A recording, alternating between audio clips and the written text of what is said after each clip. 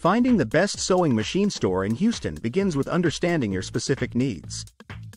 Start by assessing whether you need a basic model for occasional projects or a more advanced machine for professional use. Research is key when searching for sewing machine stores. Look for stores that specialize in sewing equipment and have a reputation for quality products and excellent customer service. Consider visiting stores in person to see the machines firsthand and get a feel for their features and build quality. This hands-on approach can help you make a more informed decision.